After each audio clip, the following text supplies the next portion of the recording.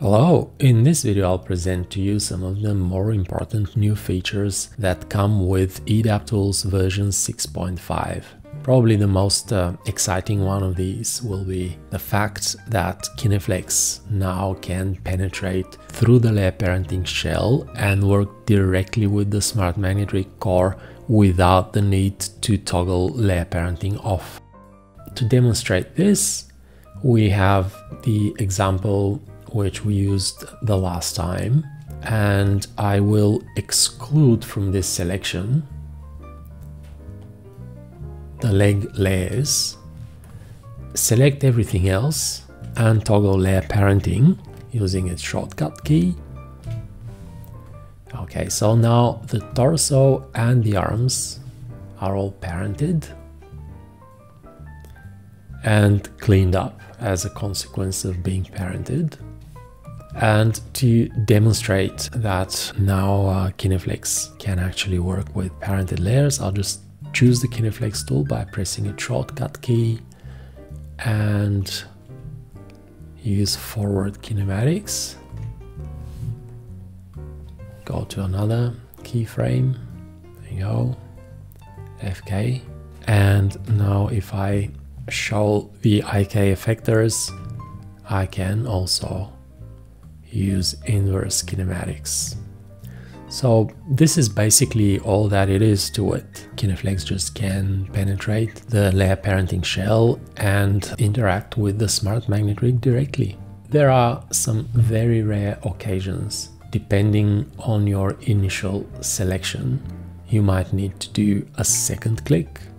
That will happen very rarely, like uh, what I'm showing you now. I deliberately clicked on the IK controllers layer and now if I click here the first click will tell me that the layer parenting shell has been unlocked and just click a second time to work with Kineflex. This can happen sometimes, but that will be very rare and there will only be uh, the need for one extra click. The second exciting thing that I'd like to show you is that you can trigger IK cleanup via the shortcut key for cleanup. So you don't really need to always press this uh, cleanup button in uh, Smart Magnet Rig Helpers panel. So it works exactly as normal cleanup will work, just the starting point would be uh, an IK effector. When you have an IK effector selected and you press Alt Q, the result is IK cleanup. If you can pay attention to this other knee that breaks a bit, I will clean it up. Alt plus Q and all these frames were generated and these were cleaned up. I'll continue with this leg. IK cleaning it up and for the other one that's uh, lifted in the air. This time I will do a normal cleanup. From this key here I will go chain select with smart transform.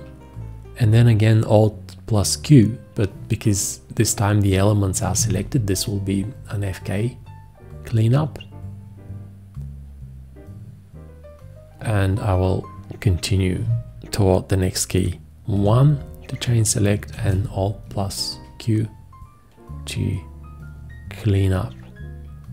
Another cool new feature is that by default Smart Magnet Rig IK effectors snap back to the controlled element when you release them.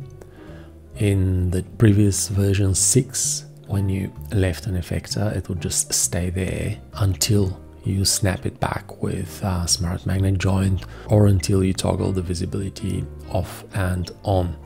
While now effectors snap back. This is the default behavior obviously but then there is an extra property where you can actually disable this snapping back and it's in effector properties. There's a checkbox here called don't snap on mouse up.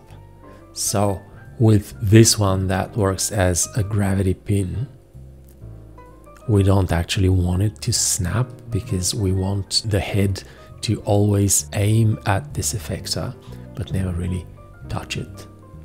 If we select another one and call effector properties and activate this, it will stop snapping.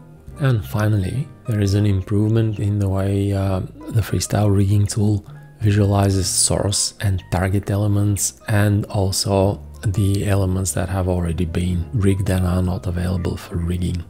So if you remember in the previous version we had boxes everywhere and when there were overlapping elements it uh, could get quite visually noisy. So with this version we're removing that uh, visual noise. With the freestyle rigging tool now you'll see the only place that we see boxes are the source and the target element.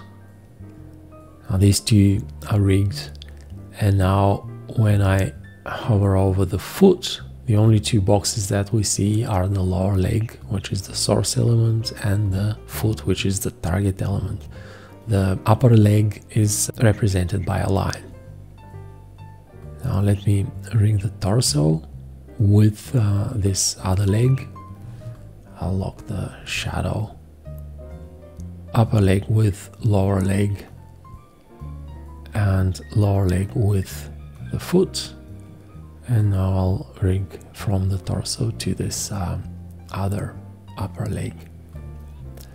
Now from the torso toward the tail, see the only two boxes are the torso and the tail. Everything else is represented by a line and these are elements that are not available for rigging. All the ones that are still unrigged and can be rigged will be highlighted with boxes. So I'll rig the tail now and then continue with the arms.